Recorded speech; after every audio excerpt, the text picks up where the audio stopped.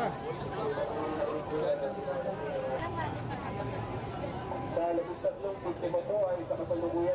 The final words coming from our Northern Luzon Commander. Maraming salamat po sa lahat. Maraming salamat sa tumalo. Maraming salamat sa mga... I think uh, from our um, perception, um, one element is the fact 130,000 injury is a lot.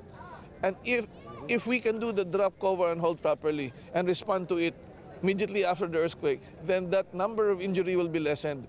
Those that will die because of injury will be lessened. So we are preventing further death because of the practice.